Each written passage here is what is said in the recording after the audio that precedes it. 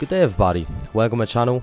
In today's video I want to talk about one of the top rewards from the Summer Quest. This reward will be the F4D Skyray, which is a naval jet fighter that will be stored in the USA's Air Tech tree at rank 6. According to the information from Gaijin's blog about this vehicle, this aircraft will have an excellent climb rate, which is pretty explainable due to the fact that it has a very powerful engine. It will also have a radar and the air-to-air -air missiles. Due to the fact that it is one of the early Cold War naval aircrafts, it will sadly be only equipped with the 4 AIM-9Bs, which whoever used them in the past could already say that they're pretty difficult to deal with. However, it is one of the earlier missile jets, so I'm hoping that this aircraft will be well balanced against other enemy aircrafts. The fact that this aircraft has got its own radar though, as an early jet fighter is pretty amazing though. At least that is what the Gaijin says. In addition, this aircraft will be equipped with additional 4 20mm Browning Colt KM-12 cannons. This type of weaponry would ensure you that the enemies that will get hit by your fire will be destroyed in no time.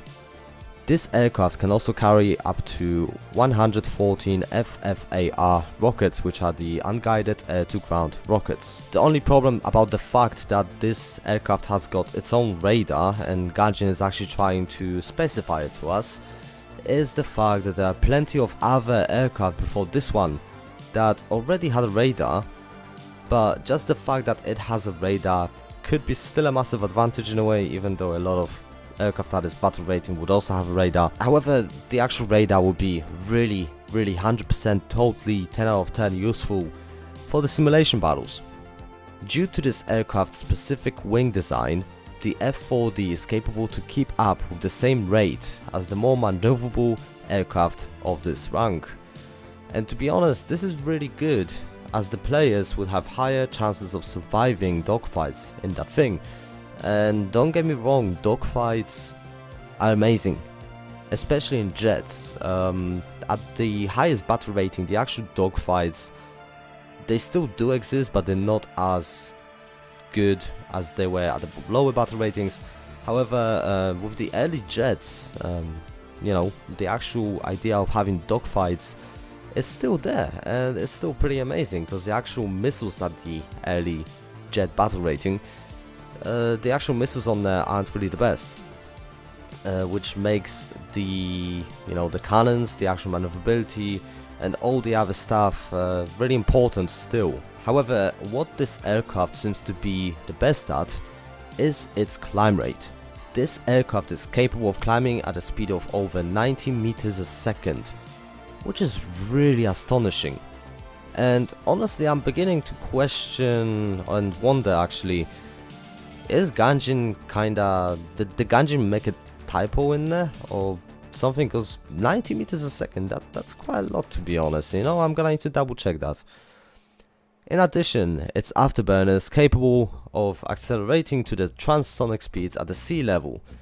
And if you want to know what the transonic speeds are, uh, well, basically the transonic speeds are the actual speeds that are basically under the supersonic.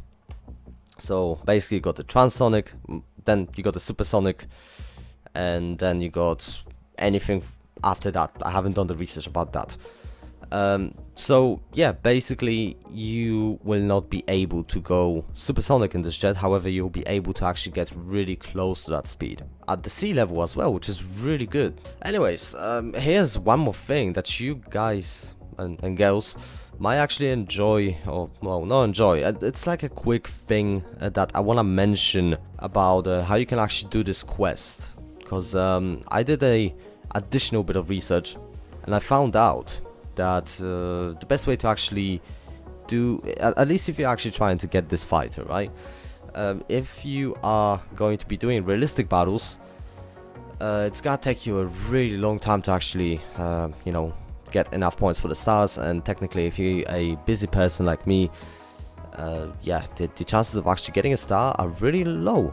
Because um, you know I'm a human being. I'm working 40 hours a week and sadly enough sometimes I'm not even get, getting paid for that. That's why in many cases a good idea would be to actually go to the uh, arcade battles in which if you're lucky enough and if you play well enough you can actually get around 2000 points in one battle and then hit on a one of the actual uh, wages or yeah.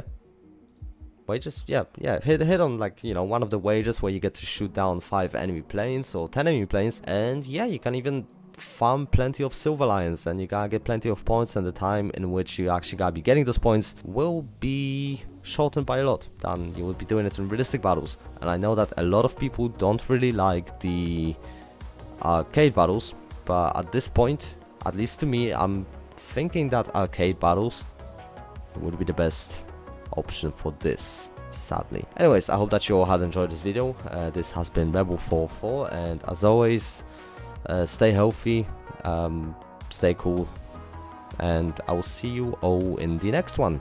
Thank you for watching. Rebel44 signing out.